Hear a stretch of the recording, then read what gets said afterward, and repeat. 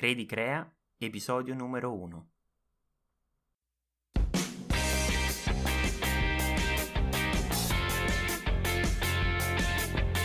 Ciao e benvenuti a questo episodio di Credi Crea. Mi chiamo Michela Mitrani e questo è il podcast che vi aiuta a produrre, pubblicare e pubblicizzare in modo indipendente le vostre opere.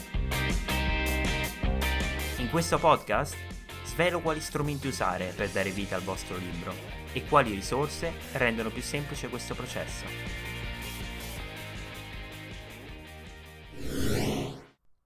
Allora, devo farvi questa confessione, sono nervosissimo.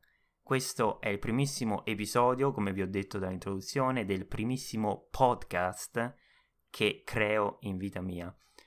Quindi, ovviamente, non posso definirmi un, un esperto di questa nuova arte uh, del parlare. Uh, il podcasting è una risorsa relativamente giovane e uh, vi spiegherò per quale motivo ho voluto creare questo, tipo, questo nuovo medium di comunicazione per una materia alla quale io sono particolarmente appassionato, ovvero self-publishing e di rimbalzo, quindi scrittura. Quindi Credi Crea è il podcast per gli autori indipendenti e in questo podcast tratterò sia di scrittura che di self-publishing. Ora ho pensato come primissimo episodio valesse la pena fare uh, qualche presentazione, non solo presentare uh, questo podcast ma anche il sottoscritto. Chi sono? Che cosa faccio? Che cosa voglio? In realtà non voglio niente da voi. Quello che uh, mi prefisso di fare con questo podcast è cercare di dare alcune risposte ad una materia affascinante e che sta avendo sempre più successo anche nel bel paese. Sempre uh, più spesso ricevo domande da completi sconosciuti che mi chiedono diverse uh, cose riguardanti proprio come pubblicare indipendentemente queste opere, eh, le loro opere. Sempre più spesso ricevo da persone completamente sconosciute domande uh, su questa materia, la pubblicazione indipendente. E io ho pensato proprio che creare un podcast fosse un modo alternativo per dare risposte a queste domande. Ora, chi è il sottoscritto? Mi chiamo Michele Mitrani, eh, sono nato a Roma e vivo uh, in questo momento all'estero in Canada, a Vancouver, nella bellissima Colombia britannica. Un avvertimento a questo punto, a volte mi sentirete fermarmi o magari mugugnare. Mugugnare qualcosa del tipo, ah, come si dice in italiano? Siate pazienti, per favore. È normale. Dopo oltre 5 anni all'estero è un sintomo di un cervello che sta cercando di adattarsi alla nuova realtà in cui vive. Quindi vi ho avvertito, mettetene in conto adesso che sapete uh, questa realtà, insomma. Uh, sono anche uno scrittore e un autore indipendente. Scrivo principalmente libri di fantascienza, ho scritto la serie di fantascienza Ognologo, uh, fo- eh, formata da quattro libri. Il terzo libro dovrebbe essere pubblicato uh, nei prossimi mesi, la qualcosa mi rende ancora più nervoso di uh, creare appunto questo podcast. Ho anche scritto libri che con la fantascienza non hanno niente a che fare, libri di saggistica, di self-help. Uh, ad esempio, ho scritto Confessioni di un autore indipendente, che è una specie di resoconto sulla mia avventura del, nella pubblicazione indipendente, come ho iniziato, che cosa mi ha convinto ad iniziare, um, le difficoltà, i vantaggi, le soddisfazioni di questo reame um, veramente uh, interessante, ma a volte uh, davvero complicato, chiamato self-publishing, appunto. Ho anche scritto un saggio di scienze politiche uh, chiamato L'alfa e l'omega del dragone, che analizza l'economia, la storia, la filosofia e la politica della Repubblica Popolare Cinese.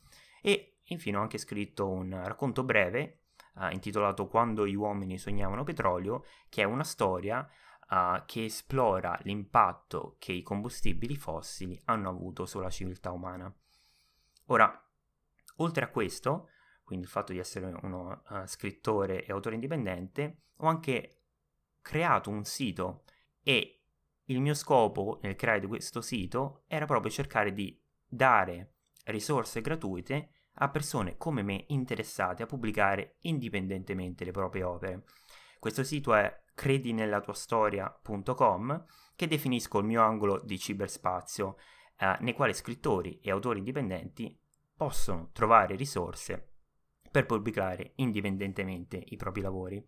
È attivo dal febbraio del 2016 e ha già dozzine di articoli, eh, risorse varie come filmati, tutorial creati da sottoscritto che vogliono proprio rendere più semplice questa materia per gli addetti e o i non addetti ai lavori.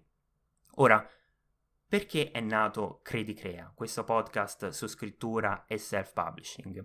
E una delle ragioni è sicuramente il mio interesse per il podcast, un, un, interesse sempre crescente, devo dire, non solo per i podcast, ma anche per i loro format. Trovo infatti che i podcast siano una risorsa incredibilmente facile da digerire.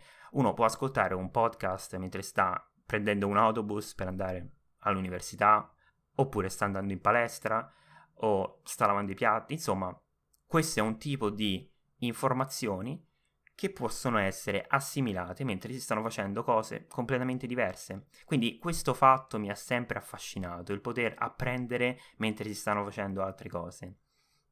E la mia storia come ascoltatore di podcast in realtà nasce nel 2013, quando per la primissima volta mi avvicinai a questo reame ascoltando il podcast This is Your Life di uh, Michael Hyatt, che è un autore bestseller, un uh, imprenditore, uno scrittore, diverse cose allo stesso tempo. E in questo podcast lui parla di diverse cose, come ad esempio uh, scrittura, leadership, produttività. E questo è stato una specie di amore a prima vista perché dopo essermi abbonato al podcast di Michael Hyatt ho cominciato a sentirne diversi, vari, che orbitavano più o meno uh, sullo stesso tipo di argomento, quindi leadership, produttività, scrittura, editoria. Un altro esempio è The Portfolio Life di Jeff Goins, o per esempio uno dei più recenti che mi sta piacendo davvero tanto è il Read to Lead podcast di Jeff Brown e tutto questo quindi mi ha invogliato a iniziare il mio podcast. Prima di fare questo salto devo a confessarvi che ho letto e seguito diversi corsi sul podcast, come per esempio Producing Professional Podcast uh, del famosissimo uh, Richard Harrington. E alla fine mi sono detto perché no, proviamoci, buttati. E adesso state sentendo il primo risultato. E per le persone che non sono già scappate da questo podcast, è arrivato il momento di spiegarvi il nome di questo uh, nuovo prodotto dell'etere. E uh, ho deciso di chiamare questo podcast Credi Crea perché sento che viviamo davvero in un'era in cui le possibilità che ci sono offerte dalla tecnologia sono davvero virtualmente illimitate. E ciò che separa l'immaginazione dalla realtà si è trasformato da una barriera impenetrabile ad un vero e proprio confine. E sono convinto che una persona che crede fermamente alla propria storia, che vuol dire al finire propria, un proprio prodotto o uh, finalizzare un'idea, cercare di finire qualcosa che veramente vuole fare, sia una pratica incredibilmente utile nell'era odierna, perché alla fin fine siamo in quella che Seth Godin chiama la connection economy, quindi è un'era in cui noi persone possiamo influenzare un numero incredibilmente grande di altre persone uh, grazie alle idee che condividiamo o ai prodotti che vendiamo o alle storie che scriviamo. Quindi per questo motivo il nome Credi Crea. Credi alla tua storia, creala per fare in modo di diffondere il contenuto della tua idea o del tuo prodotto o della tua storia. Questo quindi il uh, significato dietro al nome Credi Crea. Ora devo dirvi che come primo episodio introduttivo penso che basti aver spiegato un pochino chi sono e il motivo del nome di questo podcast.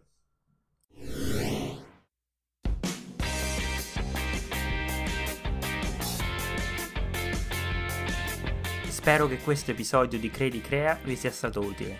Se lo è stato, aiutatemi a renderlo più facile da trovare, recensendolo su iTunes e condividendolo con amici e conoscenti.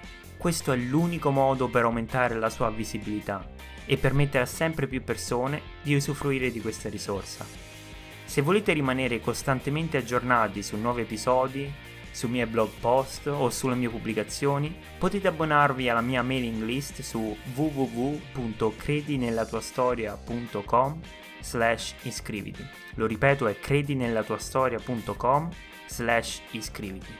Bene, vi lascio con un saluto e dandovi appuntamento al prossimo episodio. Fino a quel momento ricordate, la vostra vita è una storia. Cominciate a raccontarla.